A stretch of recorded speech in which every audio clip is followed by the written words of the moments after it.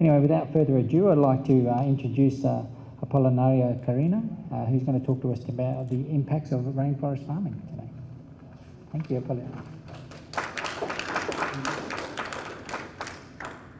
Thank you for that wonderful introduction. Quite short and brief.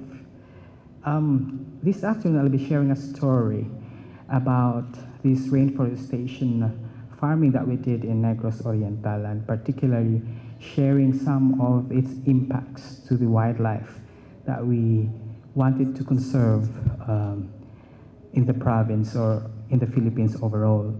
Um, together with my colleagues, these are all farmers, Rene Vindiola and Rico Mayer, the president of the federation, would like to say thank you for coming over.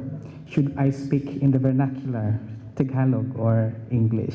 Because I saw a lot of Filipinos. Only very few are English speakers. Anyway, just kidding aside, um, Pinagmanaki stands for the Federasyon sa Nagkaiusang Mga Mag-uuma nga nanalipod ug nagpasigili sa Kinayan Incorporated. In English, that means a federation of farmers that uh, protects and rehabilitates the environment. And practically that's the vision of the organization. So as we all know, the Philippines is a tropical country, and we're quite happy for that one. And the Philippines is considered one of the mega diverse countries in the world for its high species richness and endemism. And that is something we are supposed to be proud of. However, it faces a lot of challenges towards these opportunities. Um, in an archipelagic country where only less than 18% of its forest cover is left, along with a number of catastrophic events, has caused a very sluggish economy to the country.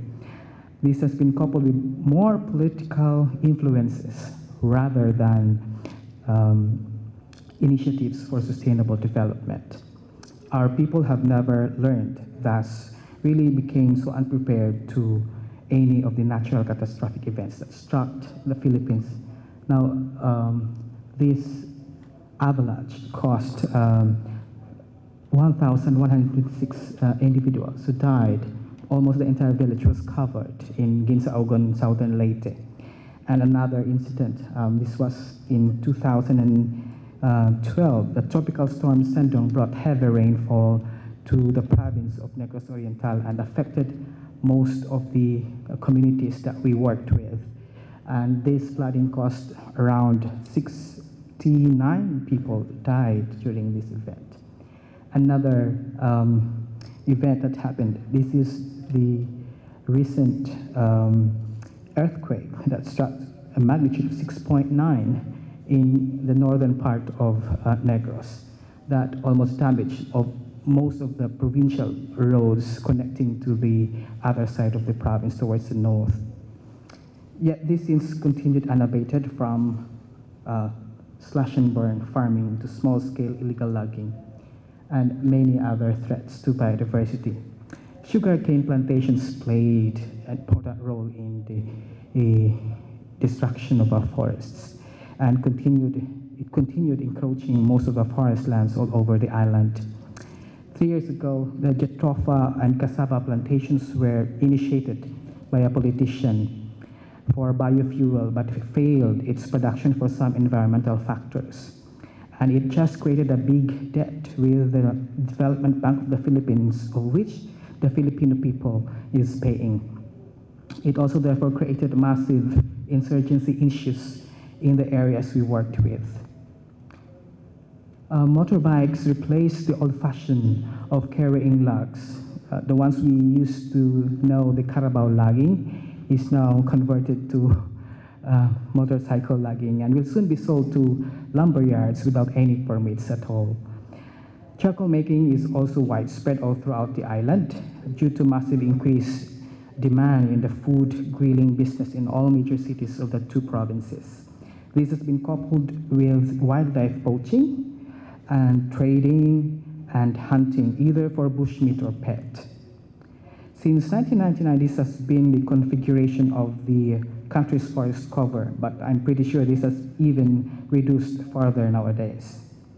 To date, the country has the status of endemic wildlife through IUCN definitions. The figures may look very nice because it has high figures, but they're not. It is alarming. However, there are still hopes left for our wildlife on Negros. Through our research, we learned that we still have these threatened species surviving in our forest patches. These are some of the threatened herpetofaunal species on the southeastern part of Negros Island. And these are some of the birds, threatened birds, also recorded on the side of our island. And these are some of the mammals, threatened mammals that can be observed uh, on our side. These are some of the interesting flowering plants, um, aside from the highly prized and threatened dipterocarp trees in our forests. And to sum it up, in summary, at least we have still this number of opportunities to be saved from extinction. So we have more than 180 of non- and dipterocarp species of trees, and 23 among these species are threatened. Among the 49 reported amphibians and reptiles, we have at least eight species that are threatened. And among the 113 species of birds, um, at least 13 are globally threatened and are still surviving in the site. Among the 23 species of mammals recorded in the area, more than 50% are threatened species. So this is the question, why we conserve the forests of Negros? Well, we have thousands of reasons that we can always think of, but let's understand first why this happened. So before the coming of Spanish colonizers, 95% of Negros was forested. And the first invasion of the island's forest was the introduction of the sugar industry in 1850.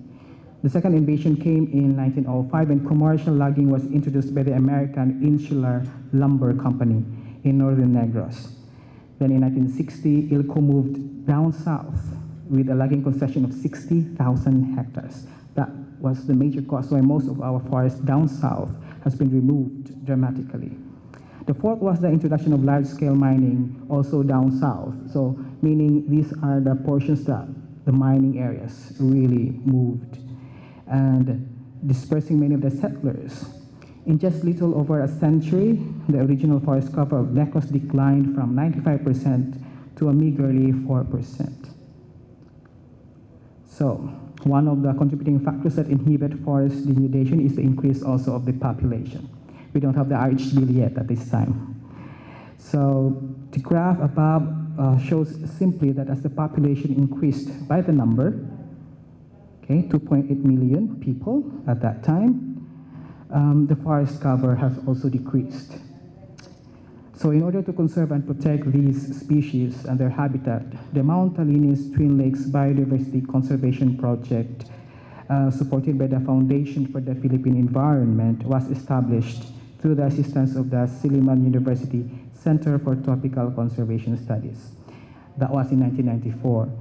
Then during its project implementation, we realized that through the rainforestation technology, which is a family-based enterprise and ownerships were recognized and practiced by the community members, of which we never failed to believe and implement. So the objective is very simple, um, and that is to showcase rainforestation simply through the establishment of demonstration plots, allowing more people from neighboring communities to be enticed in replicating the initiative. At the same time, providing opportunities for livelihood and wildlife to recover. Now, what is rainforestation farming? According to Milan and Margraf, um, this is a technology that develops farming system that resembles closely the structure of a natural um, Philippine rainforest ecosystem or home gardens that promotes the use of native or local trees rather than the exotic trees as earlier promoted by the government. It also aims to replace the more destructive form of kaingin or slash and burn farming practice and form a buffer zone around primary forests and help protect local biodiversity.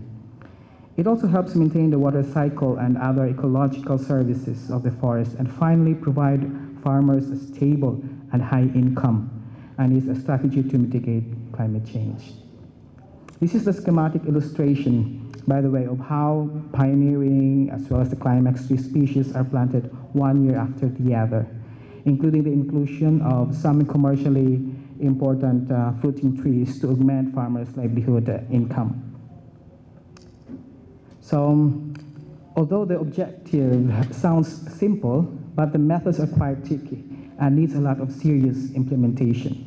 First, capacity building play a vital role in the implementation processes before the actual rainforestation implementation that includes site inventory and selection, nursery establishment, um, seed and wildling collection, growth chamber construction, and outplanting.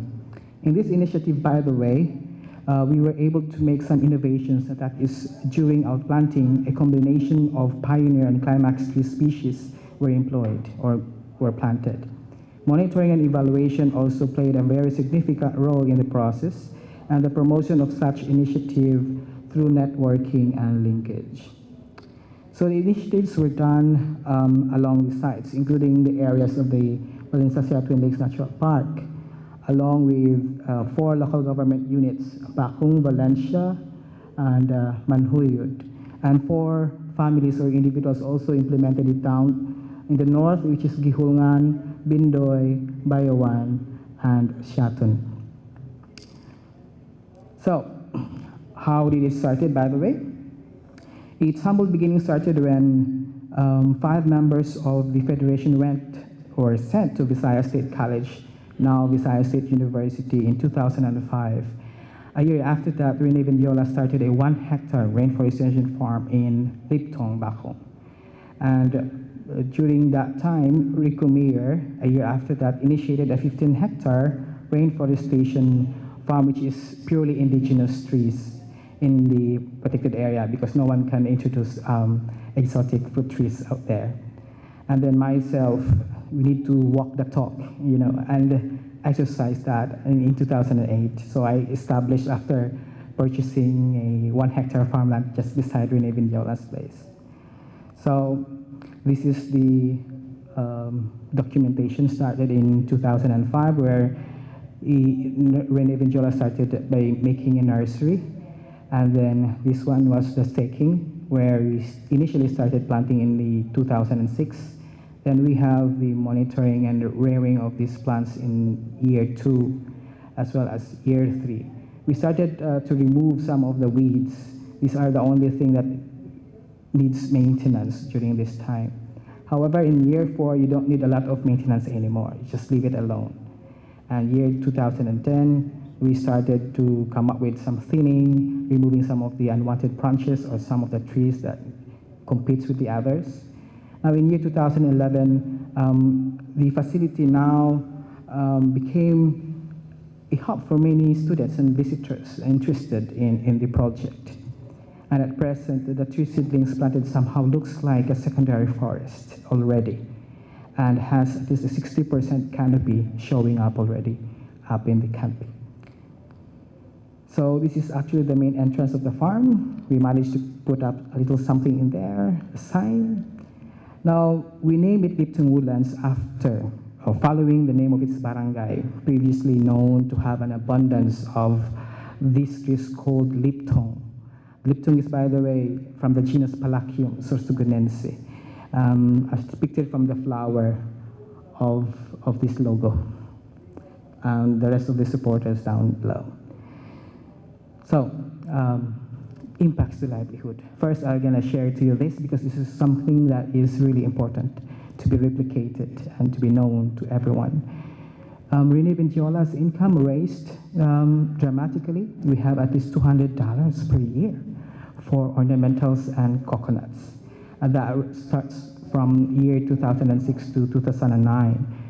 And he also earned at least $525 um, starting in 2008 until the present for the fruits of lanzones.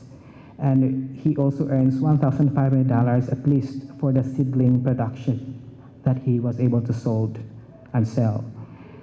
Um, he receives a regular $100 incentives from bird guiding um, because the facility is now becoming popular for bird guiding and uh, bird watching rather. And unaccountable subsistence uh, uh, results from his cash crops coming from yams, rambutans, pineapples, bananas, and some other fruit trees. For vertebrate fauna, or in, in general for the wildlife, um, it increased dramatically from 500% for the birds. We have more than 25 species now of birds recorded in the area. And it has been the feeding area for many species of birds, bats and bees and butterflies. Nesting habitat for some species of birds. We have at least a number of these birds. We have more than five species of insect bats now recorded in the area and uh, seven species of fruit bats. And literally, the barangay considered the area as a, a barangay privately owned wildlife sanctuary.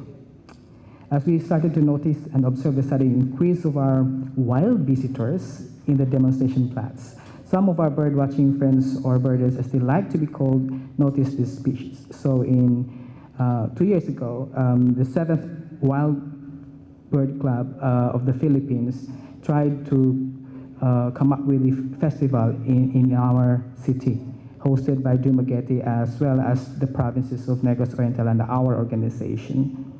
So um, it provided the participants with an easy access to the endemic species of birds just a few minutes away from the city, where they can see these birds up close and personal at the garden. Like this endemic coleto trying to build a nest in one of the dead trees in the garden. And this was photographed, caught in the act while feeding um, in the uh, fruits of the Medinilla magnifica. This is a vulnerable endemic species of bird, flower pecker. And the participants were also able to observe a nesting couple of endemic Negros Scops owl while the male is seen sleeping during the day. Both were actively taking turns finding food for their chicks in the evening. As in this case, the female, mm, as the female to the right is already about to feed the chicks with a lizard on its beak. Just recently, we were able to document, although seen once only, and in solitary, the critically endangered Negros bleeding heart pigeon that fed on the fallen fruits of pinanga and heterospathe palms planted in the farm. So these are palm fruits that were um, fed by this bird. So more and more birds were documented at this point. Now, as you look around down the leaf litters, you'll be so lucky to see some hopping creatures like these endemic frogs trying to secure themselves from the fallen leaves, whilst the sailfin lizard is documented basking under the sun with some common fruit bats, um, tent roosting. These are some of the fruit bats. This is the small, the short-nosed fruit bat um, that roost, uh, happily roosting in, in this um, frond of an anahaw plant.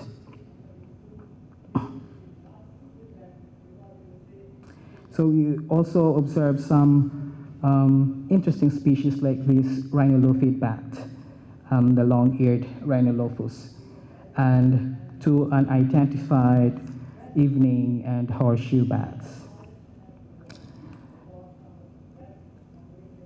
The garden is now a frequent uh, visitor of the smallest uh, flying fox in the Philippines called the little golden mantled flying fox. And this large flying fox, the biggest in terms of wingspan in the world, has been observed hovering every night and sometimes accidentally made the garden its delivery room as her newly delivered pup um, was busy sucking for milk. So more and more species of butterflies, um, moths, bees, right, these are the bees, ant houses, um, and even fungi added colors to the garden. To date, a total of five local government units um, and several communities already adopted the technology, and approximately 392 hectares have been reforested or rainforested all throughout the province. Several other LGUs or local government units, individuals or families, and industrial companies, including NGOs, are also soliciting for our technical assistance in establishing similar initiatives in their areas. Now this slide shows the initial uh, number of species per taxa recorded in Lipton woodlands only. So as you can see, we have a dramatic increase of uh, more species of birds, um, the reptiles and amphibians, including the mammalian fauna. For plants, these are just planted directly. So we introduced the plants in the area, all of them. Through our advocacy and influence shown in the local government unit of Valencia, the LGU established its own municipal indigenous tree nursery in preparation for the communities of Valencia in the watershed areas to utilize for free. So the LGU itself uh, produced this and spent a lot of money for this for free to be used by the communities around the watershed areas. Now, Tata Larry Escalante, one of the PO leaders in my federation, um, started implementing the family-initiated uh, tree nursery of fruits and other indigenous trees. He earned at least $3,700 uh, annually starting in 2006. And, um, but we have several issues and problems um, we met some challenges and we were able to identify most of them, including uh, issues and concerns on monitoring and evaluation, particularly in the documentation and reporting, as well as publication of the results. The financial management is also becoming an issue. Awareness, campaigns, and innovation of mitigating measures were also another issues. So here are some of the lessons learned and outcomes generated by the initiative. As we showcase the mixture of framework and climax tree species, this provided opportunities for fire succession to be short-circuited. Most of the dipterocarp trees planted performed so well in the open areas of the demonstration farm. And after three years, most of the weeds were already um, shaded out. Framework species planted also served as food plants for many species of seed-dispersing animals like birds and fruit bats, allowing more seedlings produced in the ground cover. And the initiative also provided opportunities as income generating where these seedlings were sold to other reforestation activities. The introduction of understory plant species such as palms, araceae, tree ferns, Medinilla species, heliconias, and other epiphytes during the third year of implementation allowed a better replica of the original forest that also provided opportunities for other wildlife species like insects, bats, birds, frogs, lizards, and snakes to feed on the nectars of its flowers, the fruits, and prey that were recruited in the area. The planting also of Muntingia calabura, uh, or manzanitas in Espanol, in buffer or strategic areas prevented some species of fruit bats from attacking the fruiting lanzones and rambutan along the farm. Now, this is good because we were awarded by UNDP Equator Initiative in 2006, and it provided wider and better opportunities for us and, and excellently respect our organization in our province as well as in the entire country overall. Tata Rene Vindiola also received the fifth Ramon Aboitiz Foundation Incorporated Award um, for exemplary individual in the field of environment. He was a former hunter a cañinero, now turned conservationist. And that's a good story to tell. And he was awarded um, two years ago. Tata Rene's uh, fifth Ramon Aboitiz Award for exemplary individual proved that not only professional people can also receive the award, but farmers like him can make a change and be recognized nationally, along with uh, last uh, the other year's past winner in the organization category. So this is the winner for the individual, and the other one is for the organization category. Now, part of his award was to purchase this mini truck to help transport and deliver seedlings to many awaiting partners all over the island and some other neighboring islands because we now started to travel in Cebu, Panay, as well as some parts of Mindanao. So it's getting more widespread now. We don't have internet access, we don't have websites, but word of mouth in the Philippines is very much more effective. So finally, we can simply say that what we do today will be the heritage for the future generation. And I hope you who um, you like that presentation. This somehow gives us a little uh, positive move for the Philippines to work on into something like this all throughout the country. But we wish to thank also these people and these organizations who, in one way or another, provided support for us in general. And uh, thank you very much for your presence, especially, and for listening.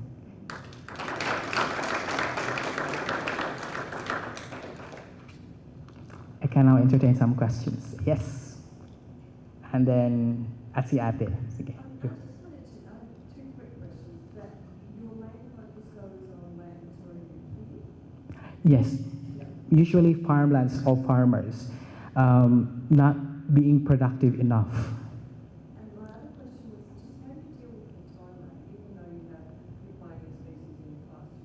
Right. Six years at least. Right. Mm. So we certainly do not want to cut most of the activities of the farmers. This is just to augment their livelihood, existing ones. But later on, as the rainforestation progresses, they should stop some of those activities. But during the first three years, cash crops are planted. That's why I mentioned the yams, all those sweet potatoes. We also have bananas and so on.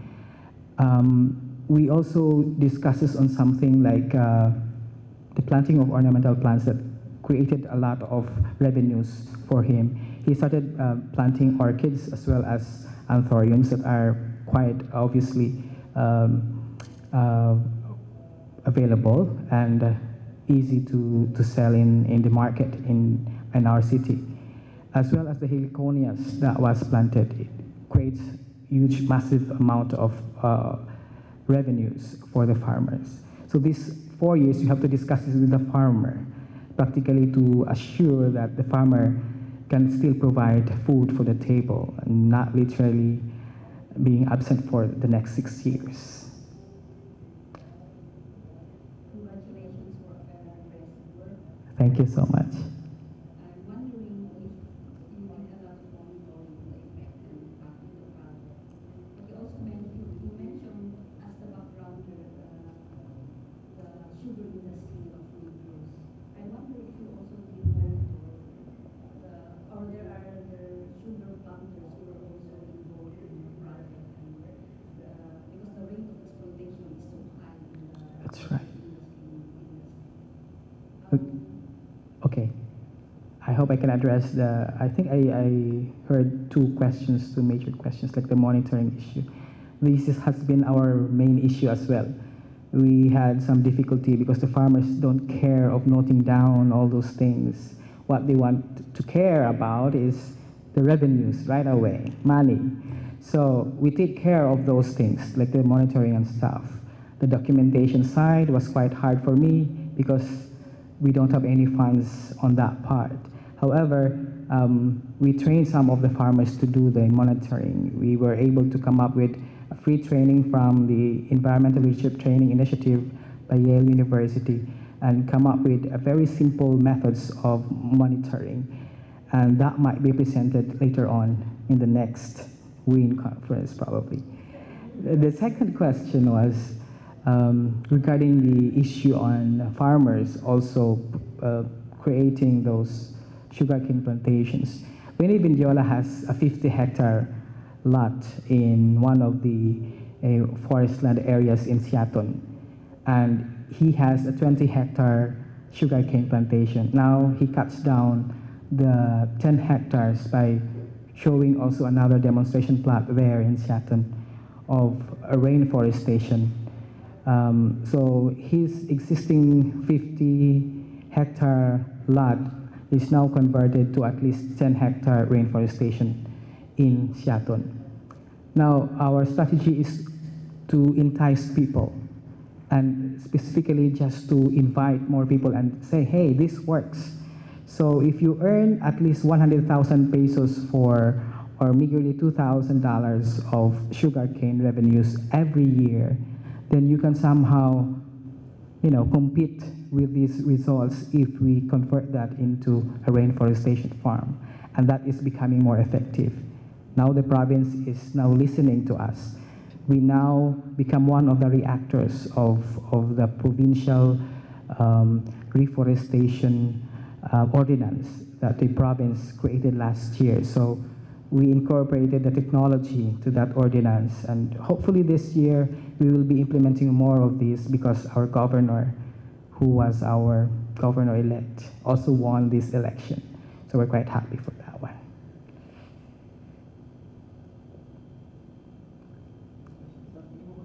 Yes, Eileen, thank you.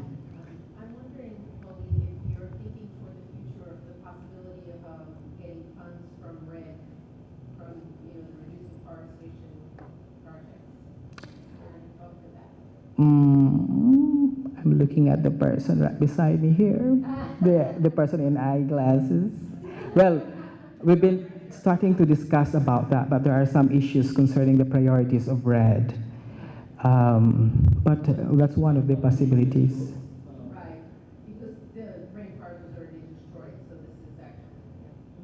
There is a huge parcel of land actually that I have presented to Kuya Aldrin here sometime a year ago that there's a huge vacant lot there somewhere in the centralmost part. As you can see with the map, we only have that little dot of forest covered down southeastern side of the island.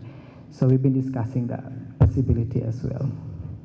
But I think the, the more relevant issue is that perhaps Poly and the school can look at it from uh, an island-wide perspective rather than Yeah. small portions, just rent eligible activities. Would have to be really island wide, Yes. Yeah. That's right. An island view. That's a, that, uh, that's a good or a huge challenge over.